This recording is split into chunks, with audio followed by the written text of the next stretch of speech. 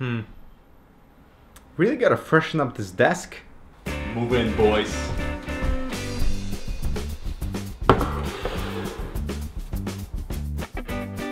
What is going on? Fresh desk coming right up.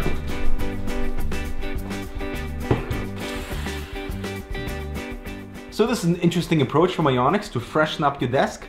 I like it. Let's check it out right after this.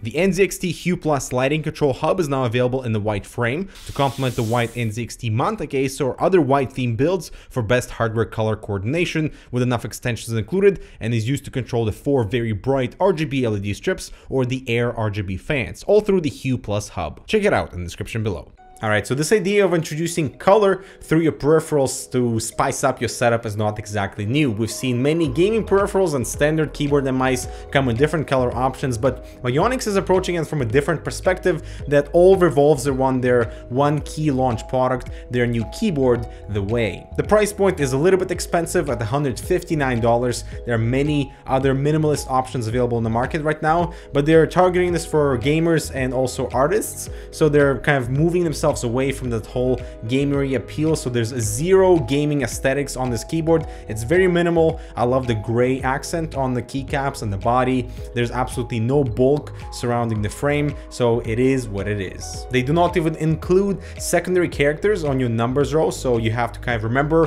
where the dollar sign is, where the plus sign, equal sign, all that stuff is. But I do appreciate the built-in uh, media controls right on the top right corner, along with the LED control, which is right beside there. Even their branding is limited, so there's a single logo on the main front plate on the bottom right, and there's also a logo surrounded by this yellow rubber on the left side. The keyboard cannot be raised or angled, so it is what it is. There's this single large piece of rubber at the bottom, so the keyboard has very good stability alongside that Mionix logo, but I wish that we could have lifted the keyboard slightly because uh, it is pretty flat. The keyboard feels solid, there is an aluminum plate at the top, so despite it being so thin, there is almost no flex. And finally, the cable that is exiting the keyboard has this bit of coil. Not exactly sure why that is. Design-wise, it looks kind of cool, but functionally, it doesn't really work because the coil is very tight. So if you have to stretch it, you have to somewhat lock the cable somewhere in order to, you know, achieve the stretch. Otherwise, it's kind of pointless. Now, this is a mechanical keyboard, and initially on their Amazon page, it said that it was a cherry silent RGB red switch. Uh, that can be misleading because it's not a silent switch, it's an MX red switch. So after that, after my conversation, they did clarify exactly what it is on the Amazon page. So there is no longer confusion. This is MX Reds and not the silent switch. Now the software is pretty basic, so you can do color customization per key or selecting multiple uh, by holding control. Uh, the effects are nice, but uh, quite limited. Not as many as we see on like gaming uh, specific keyboards. And macro customization is available too. Not all the keys on the keyboard, but majority of them, which is fine. So now let's talk about the accessories, so the pads and the keycaps. So the cool thing about the keycaps is they come in three different colors and they correspond to this sort of idea of, you know, the yellow being fries, the pink one being the frosting for like donuts, and then the blue one, minty ice cream sort of. So they're going for these theme that related to food. And then there's the gray one, which is the shark fin, which is not exactly sustainable, not exactly political politically correct for a company to do,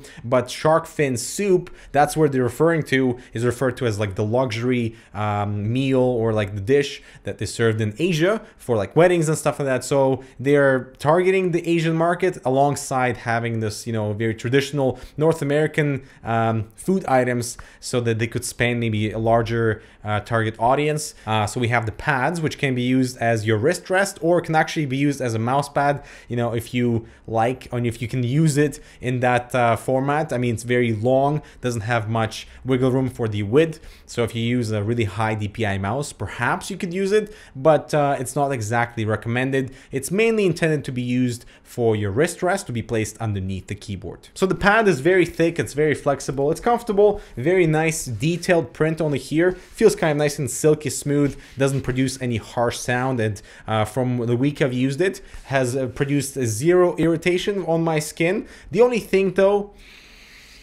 it doesn't really smell that great. They smell very rubbery, like tires, and uh, I've had these for a week now, and they still smell, but I'm told the smell sort of gradually rolls away with use, and uh, let's hope that is the case. Price-wise, they are $15 a piece, which I would say is okay. They do provide nice comfort, and because of the keyboard, because how flat it is, you probably want to position it further away from you so you have more forearm space on the desk and therefore this would complement the keyboard very well. I do like the little easter eggs they've planted on the graphics on the pads. So on the blue one we have a shark fin that's been bitten. On the black one and the yellow one we have a fry that's been dipped in ketchup although it does look pink so I'm not exactly sure what's happening there. And on the pink one we have a bitten donut. So now let's talk about the keycaps, which are $35 per set with three colors available. Uh, so if you were to go for the whole suite with the pad, the keycaps and the keyboard Wei, you're looking at 210 US dollars, which is a little steep, but will give you that full unique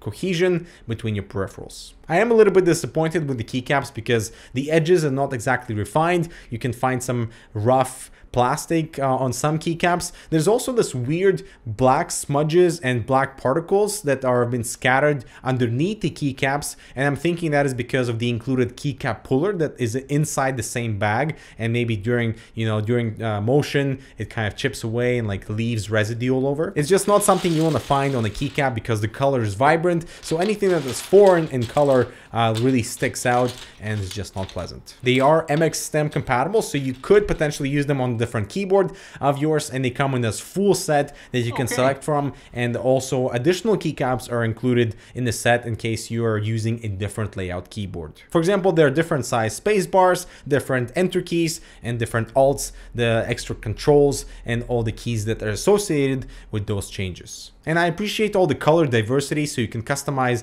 different pads with different keycaps and really make your setup unique. Now I wish there was a way for Mionix to include smaller selection and smaller sets of the keycaps so you can customize your keyboard in something like this, uh, you know, having different colors for some of those accented keycaps, but having the base in that standard gray. The one thing to keep in mind with the keycaps is the transparency because uh, the LED on the switch is at the top and therefore it does not create that uniform illumination on the keycap itself. It looks fine in daylight when you don't see the illumination but during darker conditions it's just not that pretty.